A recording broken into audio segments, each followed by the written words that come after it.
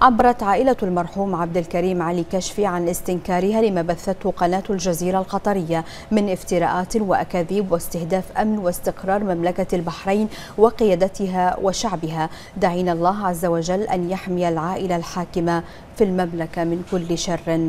وعدوان